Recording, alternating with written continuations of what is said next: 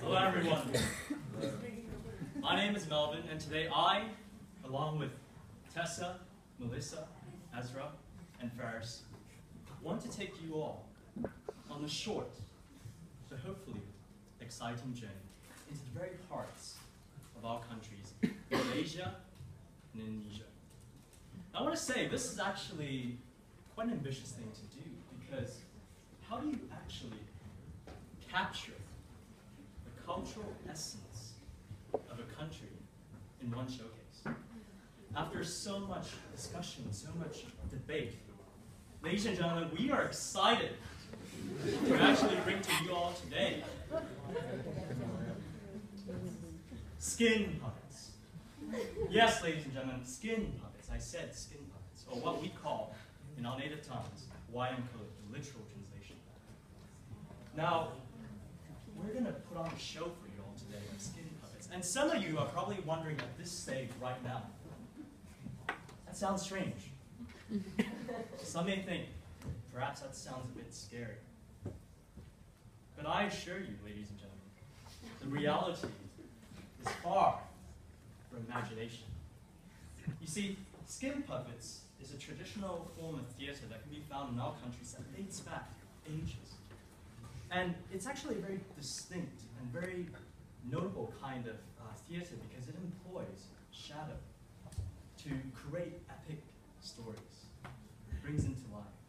Specifically, you have these masters who use these puppets and they project animate them behind this screen that's usually lit by an oil lamp. And then they create these stories.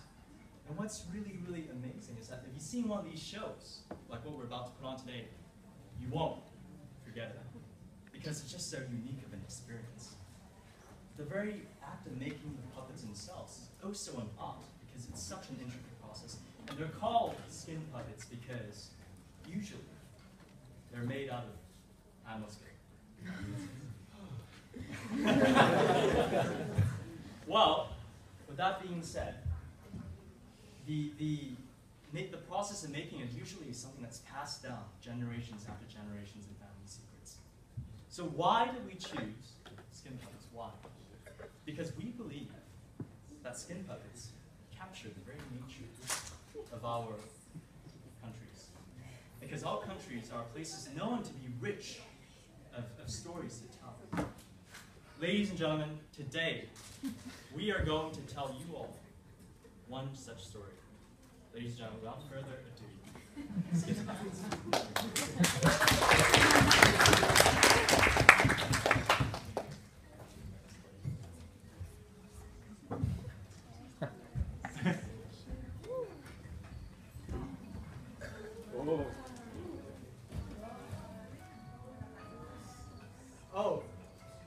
a perfect day to fly my new kite.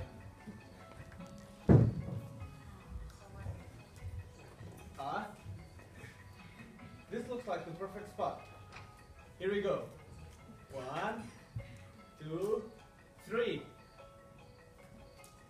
Hmm. Who knew that flying kite could be so difficult?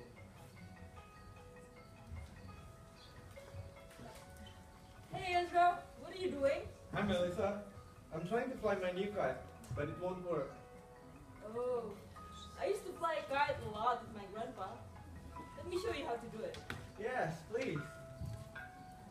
So, you just have to make sure that the wind is in the same direction as the launcher. And now, you slowly release the kite. Wow. That wasn't so difficult after all. But I couldn't have done it without your help. Thank you, Melissa. No worries.